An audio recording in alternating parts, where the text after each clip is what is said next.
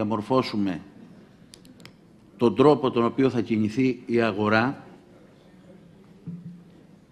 αλλά είμαστε υπέρ του ρυθμιστικού ρόλου του κράτους, έτσι ώστε να μην υπάρχει ασυδοσία και να μην καταραίει το εισόδημα του Έλληνα παραγωγού. Και αυτό θα το κάνουμε πράξη, επαναλαμβάνω, είναι το πολιτικό μας στίγμα, είναι η πολιτική μας επιλογή. Θεωρούμε ότι οι άνθρωποι της δημιουργίας, της επιχειρηματικότητας, αλλά και οι άνθρωποι οι οποίοι παράγουν και οι οποίοι ήταν ιστορικά η παραδοσιακή και πολιτική και κοινωνική μας σύμμαχοι, είμαστε υποχρεωμένοι να τους στηρίξουμε και για το καλό της κοινωνίας, αλλά και για το καλό της Ελλάδας και για το καλό της ελληνικής οικονομίας. Κυρία Γιώργα Κούδη, Ράδιο Θεσσαλονίκη. Καλησπέρα σας. Εδώ. Ε, κυρία Υπουργέ, παρά τις ε, συναντήσεις που είχατε όλο αυτό το διάστημα στο Υπουργείο Αγροτικής Ανάπτυξης με εκπροσώπους αγροτών, τις ε, δεσμεύσεις που λάβατε και τις δεσμεύσεις που λάβατε και σήμερα εδώ από, το, από τη συνέντευξη τύπου, οι αγρότες παραμένουν στα μπλόκα και μάλιστα ενισχύουν τα μπλόκα και μάλιστα εξακολουθούν να εξαπολύουν επίθεση εναντίον του Υπουργείου Αγροτικής Ανάπτυξης για διαλαξία. Τελικά τι είναι αυτό που χωρίζει ε, τους αγρότες από το Υπουργείο Αγροτικής Ανάπτυξης και γιατί οι αγρότες παραμένουν και σήμερα στα μπλόκα. Ευχαριστώ πολύ. Για, το... Για αυτό το οποίο δεν μπορούμε να κατηγορηθούμε είναι αδιαλαξία. Έχουμε συζητήσει, έχουμε διαβουλευτεί. Γι' αυτό που επίσης δεν μπορεί να κατηγορηθούμε είναι ότι από την αρχή είχαμε πει ότι δεν υπάρχει δυνατότητα χρηματικών ενισχύσεων. Εάν αυτός παραμένει ο στόχος τους, νομίζω ότι τότε δεν θα υπάρχει ε, μία σωστή προσέγγιση των ζητημάτων μας και γι' αυτό επαναλαμβάνουμε ότι για ό,τι αφορά και όπως είπε ο κύριος Καρχημάκης στα ζητήματα εξυγίασης της αγοράς που θα τους επιφέρει έμεσα αλλά πολύ γρήγορα ενίσχυση στο εισόδημά τους γιατί έχουν πολύ μεγάλες απώλειες είμαστε εδώ από την τρέχουσα εμπορική περίοδο να το αντιμετωπίσουμε και να το λύσουμε.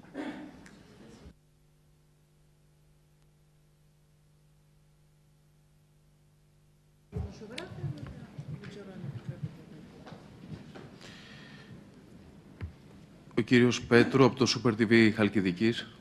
Θα ήθελα να σας πω ε, ότι το μπλόκο του, του Προμαχώνα εδώ και δέκα μέρες και διαμέσου των τοπικών βουλευτών και συγκεκριμένα του κύριου Κουτμερίδη είχε προσκληθεί, ήταν Κυριακή προηγούμενη κάποια ώρα, γύρω στις 6-8 η ώρα, δεν θυμάμαι ακριβώς. Ε, το ανέβαλαν μόνοι τους, το ακύρωσαν, ημέρα Σάββατο, ε, και την επόμενη ημέρα μάθαμε ότι συναντήθηκαν με τον Πρωθυπουργό της Βουλγαρίας. Συνεπώς για εμάς ήταν πολύ πιο πριν. Όχι, όχι, όχι, όχι. Είχε προηγηθεί το αίτημα να τους δούμε. Αλλά κυρώθηκε διάμεσα.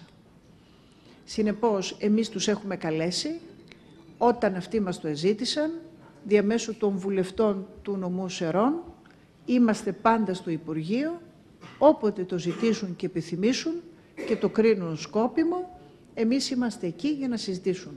Πάντως θέλω να πω το εξής, ιδιαίτερα για τον Προμαχώνα.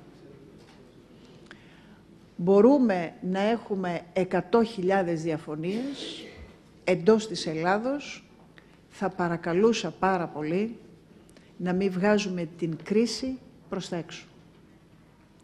Αυτό το λέω πρώτον για να προστατέψουμε το διάλογο, τα μέσα που χρησιμοποιούμε, να μην έχουμε ποινές από την Ευρωπαϊκή Ένωση, οι οποίες ανταλλάσσονται οι προειδοποιητικές επιστολές μέρα παραμέρα, εστάλθηκε στο Υπουργείο πλέον Οικονομικών από τον Αντιπρόεδρο της Ευρωπαϊκής Επιτροπής, δηλαδή ανεβαίνει η κλίμακα της αντιπαράθεσης και από την άλλη πλευρά φαίνεται ότι μία κυβέρνηση δεν μπορεί να επιλύσει τα ζητήματα των κινητοποίησεων. Και όταν μας στέλνουν επιστολές, δεν είναι για να περιοριστούμε στο θέμα του διαλόγου. Θα παρακαλούσα λοιπόν το ζήτημα του προμαχώνα και τους αγρότες που κλείνουν τα σύνορα ή όποια σύνορα, διότι δεν είναι μόνο προμαχώνας, είναι και εξοχή, είναι και άλλες περιοχές, ας κλείσουν ή αν διαφωνήσουμε με άλλες εξόδους, όχι όμως τα σύνορα.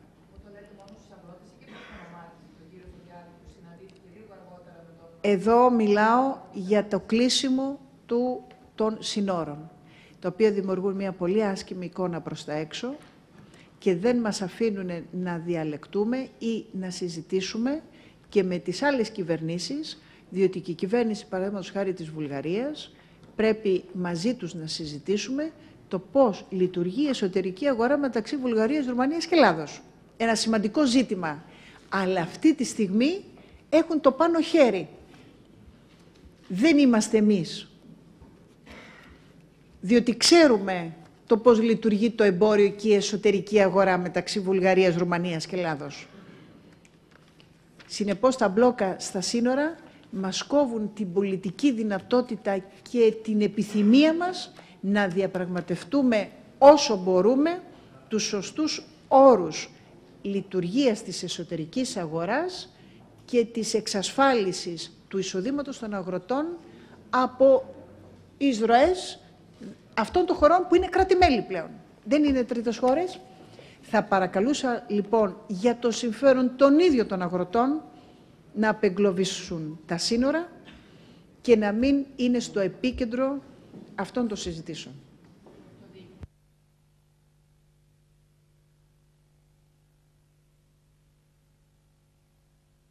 Δεν το γνωρίζω, αλλά όταν είναι προς επίλυση ή εξομάλυνση των καταστάσεων, είναι προφανώς, δεν ξέρω αν έχουν γίνει πραγματικά, δεν το, δεν το γνωρίζω, αλλά αν έχει γίνει για να εξομαλυνθεί η κατάσταση, νομίζω ότι είναι στα όρια του διαλόγου και να μην ε, βγει το πρόβλημα από διμερές, να γίνει ευρωπαϊκό. Διότι άπαξ και αυτό γίνει ευρωπαϊκό, οι ποινές θα είναι σε εμάς, δεν θα είναι στους Βούλγαρους ε, ή σε άλλα κράτη-μέλη. Και η τελευταία ερώτηση για τον κύριο Μιχαηλίδη. Βλέπω έναν συνάδελφο. Από πού είστε, συνάδελφο, δεν είστε στη λίστα μου γι' αυτό. Όχι, δεν είμαι. Αν γίνεται μια ερώτηση, είμαι από την εφημερίδα Μπελοτόπια. Ναι. Μετά τον κύριο Μιχαηλίδη και ολοκληρώνουμε. Θεωρείτε, κυρία Υπουργέ, θεωρείτε αποτελεσματική την επικοινωνία με την Πανελλήνια Ένωση Νέων Αγροτών; Εμείς καταγράψαμε μία συνάντησή σας στις 29 Οκτωβρίου και μια φορά που πήγατε στο Στάνλη 27 Ιανουαρίου. Θεωρείται αποτελεσματική την επικοινωνία του Υπουργείου με την Πανελλήνια Ένωση Νέων Αγροτών. Εμείς καταγράψαμε μια συνάντηση 29 και μια 27. Καταρχήν με την ε, Πανελλήνια Οργάνωση Αγροτών, εκτός ότι έχουμε πολύ καλές προσωπικές σχέσεις, διότι μιλάμε ότι είναι άτομα, νέοι άνθρωποι, οι οποίοι ασχολούνται με τα αγροτικά, εκτός από την θεσμική, είναι, δεν είναι, δύο συναντήσεις έχουμε κάνει, με τον Πρόεδρο και μετά με το Διοικητικό Συμβούλιο, η ΠΕΝΑ συμμετάσχει σε όλες τις επιτροπές εργασίας που κάναμε, στα πλαίσια του κοινωνικού διαλόγου, μας κατέθεσαν προτάσεις για το κόστος της ΡΟΝ, για την εποπτεία της αγοράς, για την ε, αναθεώρηση κοινής αγροτικής πολιτικής και συνεχίζουν και συμμετάσχουν και θέλουμε να είναι η ΠΕΝΑ και οι νέοι αγρότες και στην ανασυγκρότηση του συνδικαλιστικού κινήματος, διότι εκεί θα βασίσουμε και τη λειτουργία του. Και να ολοκληρώσουμε με τον κύριο Ντίνο Στεργίδη από το Αμπελοτόπι. Αμπελοτόπι. Ευχαριστώ πάρα πολύ. Ε, ως νέα Υπουργός Αγροτικής Ανάπτυξης και δεδομένης της εμπειρίας σας στην Ευρωπαϊκή Βουλή, υπάρχει για σας κάποια χώρα της Ευρωπαϊκής Ένωσης που είναι πρότυπο ή παράδειγμα προς μίμηση όσον αφορά τον τρόπο με τον οποίο έχει οργανώσει τον αγροτικό της τομέα; Θα μπορούσα να πω ότι η Γαλλία χωρίς το Σαρκοζή. Ε, όπου πραγματικά είναι ένας, μια χώρα με πολύ δυναμική γεωργία, με δυνατές οργανώσεις παραγωγών, με ένα από τα καλύτερα